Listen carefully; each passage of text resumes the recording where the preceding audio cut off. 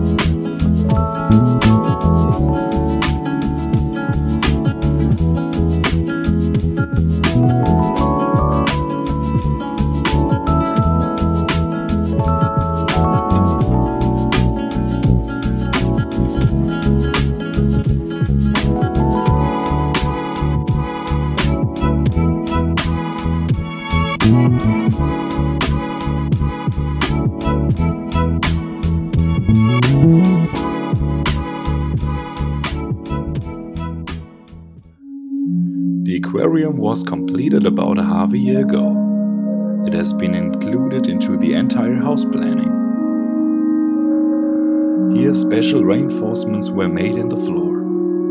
The aquarium is 3 meters long, 1.5 meters deep and 75 centimeters high. With the water in the technical room, you get about 4000 liters of water in the whole system.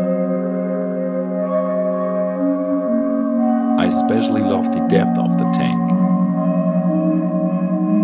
The reef structure, which is made of dead rocks, looks much more natural and it gives incredible perspectives on the animals. The aquarium sits on an aluminium frame.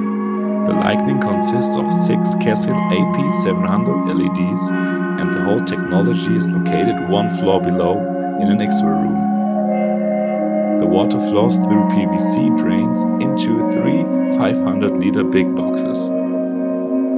In the first box it passed through a lime reactor, a fleece filter, a compartment with living rocks and an algae refuge.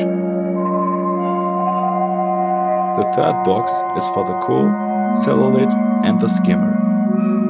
Two 9000 liters per hour return pumps press the water back into the tank. The second box is not for osmosis water, but it's used for the water change. The flow can be diverted from the first box to the third one.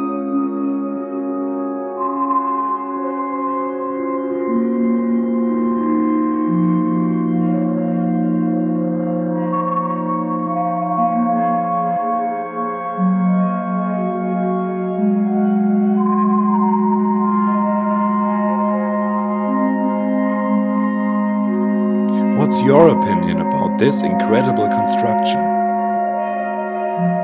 One of the biggest eye catcher I've ever seen in a private room.